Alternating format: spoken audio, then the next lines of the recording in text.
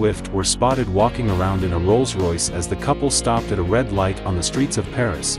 Travis Kelce and Taylor Swift enjoyed relaxing together after the two fought through a busy night for a wild concert in Paris. During Taylor Swift's latest Eras tour performance in Paris, the fans in the Paris La Défense Arena were able to see Travis Kelce up close.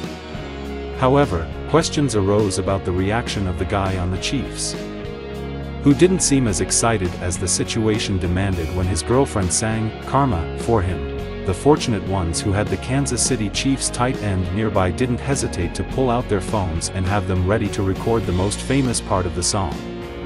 After Karma is the guy on the Chiefs was heard, Swiftie screams rang out at full volume, and videos of the moment quickly went viral fans on Twitter slash X commented that they didn't see the point of Kelce being so close to the stage if he wasn't going to get excited with fans nearby.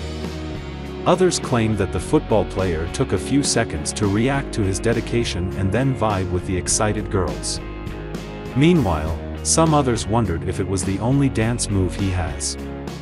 Speculation swirled about Travis Kelce's response to Taylor Swift's lyrical nod. Despite the questions lingering in the air, one thing remains certain. Taylor Swift's magnetic performances continue to captivate audiences worldwide, leaving unforgettable moments.